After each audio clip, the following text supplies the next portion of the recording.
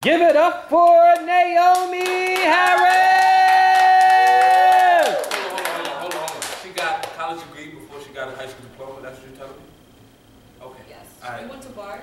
Okay, Yes. that's it, I just wanted to make that Oh, clear Barclays to downtown? everyone. No, Yes, Bard and know. Great I know Barrington. what Bard in is, I just wanted to make that clear to Yeah, yeah. I just Yeah. wanted to make that clear. She got a college got a degree college before a high school diploma. I just wanted to make that clear to everyone. That's right. Bard.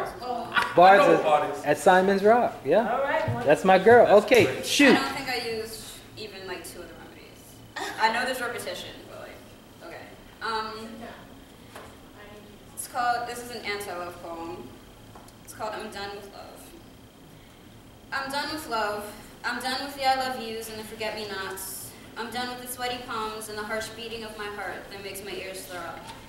I'm done with the way my skin tingles and burns beneath your touch. I'm done with the way your beauty makes me trip over my words and makes my mouth feel like sandpaper.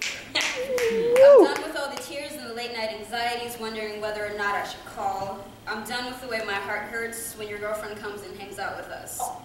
I'm done with these feelings of jealousy and feeling like I should hate her when I can't because she makes you happy. I just want you to be happy.